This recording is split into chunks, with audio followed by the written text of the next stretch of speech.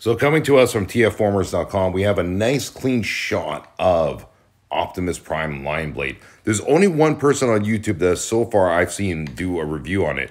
Now I'm kicking myself because I was at Walmart the other day and I actually found two of them sitting right there. And I was like, should I pick one up? And of course, silly me, I didn't do it. I know. What was I thinking?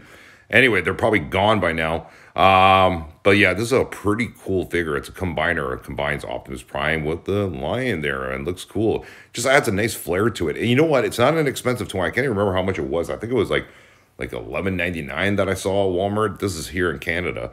Um, and I'm kicking myself for not picking it up. Anyway, this is a nice, clean looking figure, no doubt about it. I'm probably going to go back tomorrow. I'm hoping it's still there. And if it isn't, then guys, learn your lesson. If you see something and you want to get it and you're kind of questioning yourself, just buy it. All right.